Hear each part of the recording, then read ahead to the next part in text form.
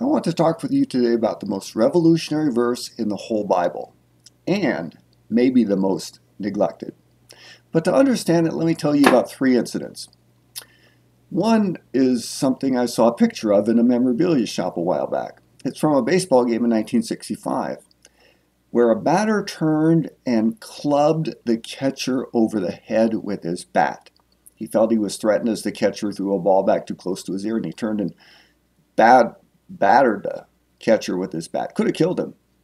Second incident, you might remember it. A couple years ago in the Academy Awards, a person walked up on stage and slapped a presenter. He felt he had insulted his wife.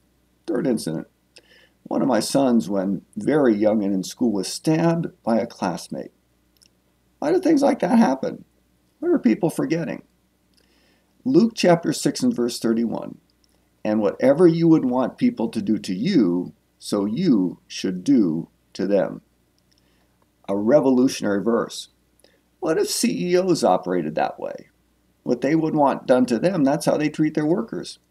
What if husbands and wives operated that way? You treat your husband or wife the way you'd always want to be treated. What if everyone in the churches operated that way? It'd be a very different world.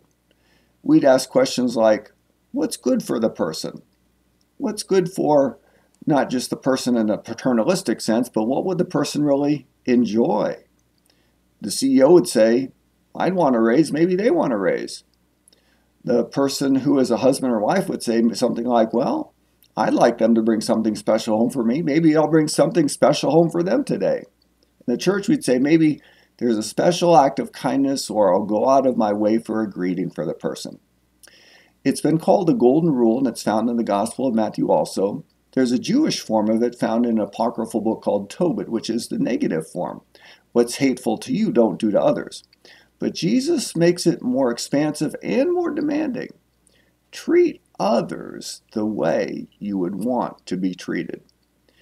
That, I think, will create a different world, certainly a different world in which you and I live. Do to others as you would have them to do to you.